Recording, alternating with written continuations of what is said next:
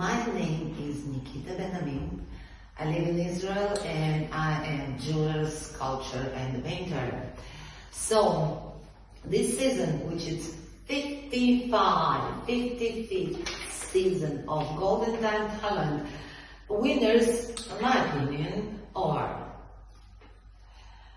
Sulimenova Aliya, Nazurat Amonova, Ekaterina Smirnova, Alexander Savkin, Милена, Анна Музанап, Артемий Погодин, Оля Усточенка, Олена Мурочник, Devora Otuania.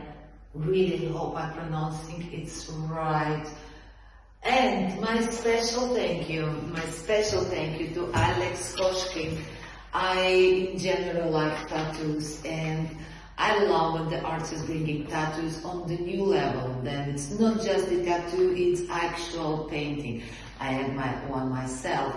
And his paintings are also, I love the process of how it was done. And um, in short, I like his work. Alex Koshkin, bravo.